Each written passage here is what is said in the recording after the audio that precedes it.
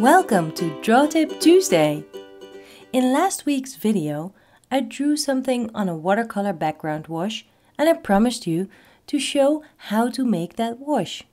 So today we need a brush, water and watercolors. I'm using watercolors from tubes today, but if you have a set with watercolor pans in it, of course you can use that. Get your colors ready and dip your brush into the water.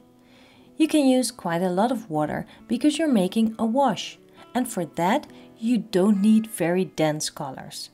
Then start mixing your paint into the color you like. Here I'm mixing yellow and red to make orange. Then start applying your mix onto your paper. As you go, you can add more color or more water, create areas with different colors that flow into each other and move your paint around as it lies on your paper in a pool.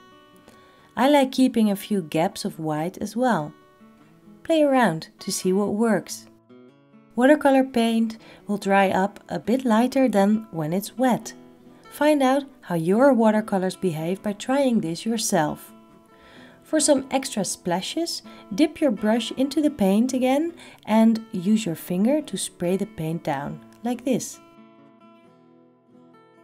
You can use denser colors as well, mix up some more and add as much as you feel like.